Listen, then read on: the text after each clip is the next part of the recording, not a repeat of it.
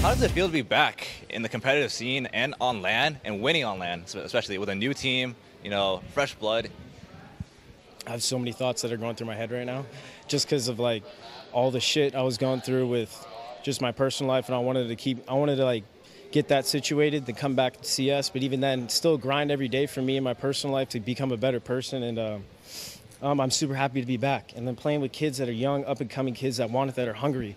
Like, and I wanted to get that hunger back, like when I was 16, 17, coming up in Counter Strike Source. So I mean, it's great to be, and also I'm playing my brother, and he's coming up. He's in yeah. Premier now, so we're, yeah, yeah, it's my family, and then these kids are becoming like my family. Silent, becoming like my family, you know, and it's it's a great feeling, man. I love it, and I we just got to keep working hard. And I'll take the W, but we got to keep working hard. uh, I love to hear that, man. I love to see people that are so passionate about the game. Yeah. Um, also. Just